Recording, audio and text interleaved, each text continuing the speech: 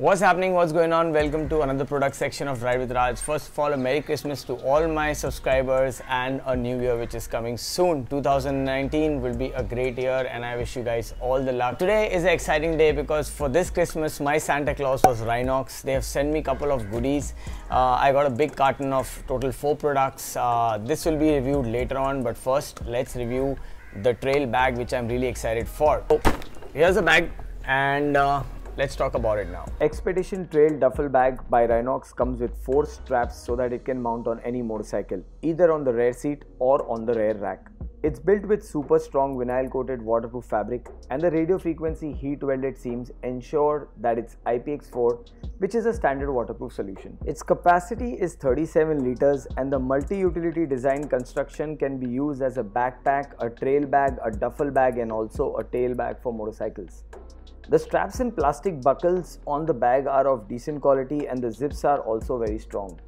Planning a short trip or even a trip for 5 to 6 days, I think this duffel bag is perfect for your regular use. There are two easy access pockets and the zips don't look completely waterproof as there is a gap. However, the lip above does create an extra protection for water and snow not to seep in but these compartments are for essentials only. As you can see my entire palm fits inside the pocket and you can keep your basic things such as your keys, your Snicker bars and your map.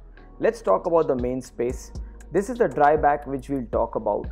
This is not part of the backpack you have to buy it separately but i feel that everyone should buy this bag if you're planning to buy the expedition trail and i'll tell you why first let's focus on this bag these are the straps which we'll use on the motorcycle to mount after clearing the straps, you can see how deep this bag is. Now I'll quickly put my things inside the bag as I'm putting the aqua pouch which I'll review later, the dry bag and couple of things along with my riding jacket which is completely armored.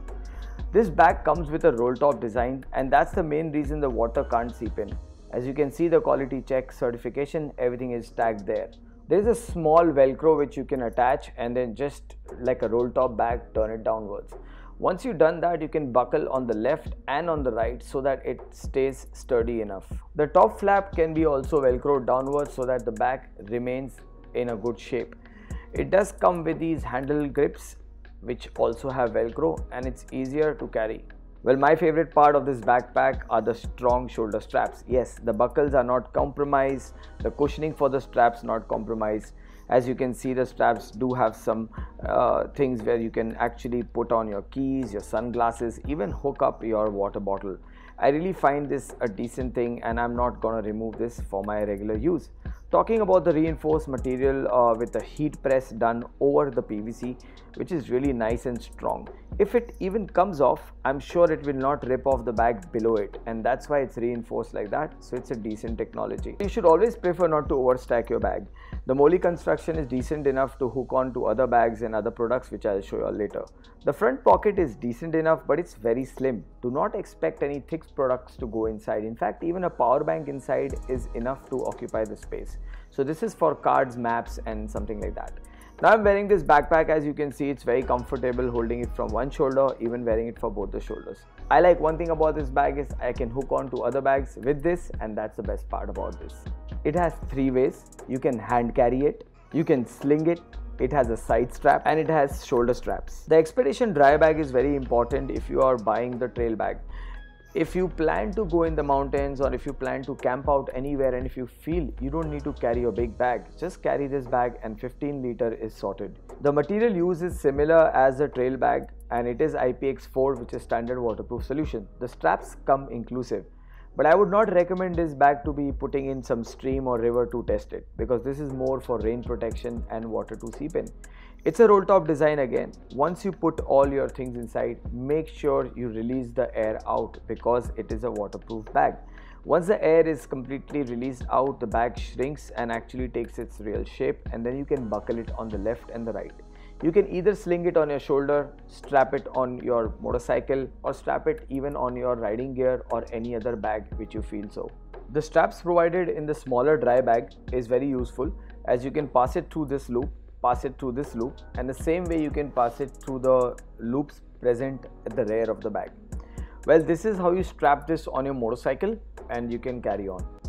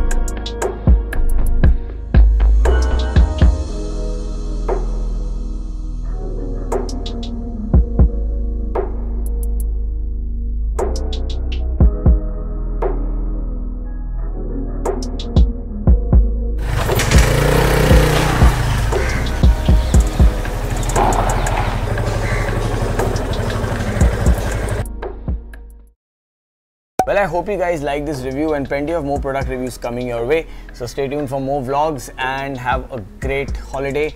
And as usual, eat well, sleep well, be good. Signing off, Ride with Raj.